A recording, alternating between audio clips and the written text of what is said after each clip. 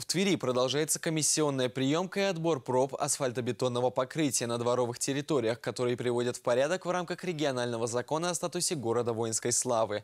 Помимо профильных специалистов, в приемке принимают участие депутаты Тверской городской думы и представители общественности.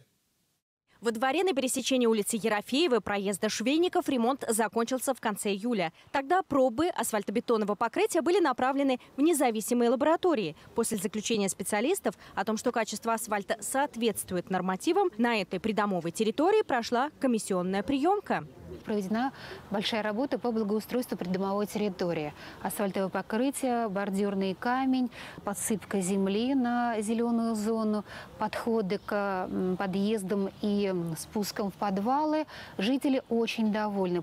Тому, что придомовая территория теперь как новая, рады все жители этого дома. Ради такого результата, говорят жильцы, стоило потерпеть неудобства. Ну, хожу прямо как в Москве по Красной площади.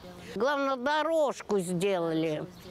Это вообще прямо все восхищаются нашим двором. Жильцы дома на бульваре Нагина 5 тоже с нетерпением ждали ремонта своего двора. В очень плохом состоянии были и тротуары, и проезжая часть. По окончании работ специалистами были взяты пробы асфальта. Здесь сделали пандус очень хорошо, то есть сейчас ступеньки. Для маломобильных людей сделали, потому что также коляски возят теперь. Мы довольны всем.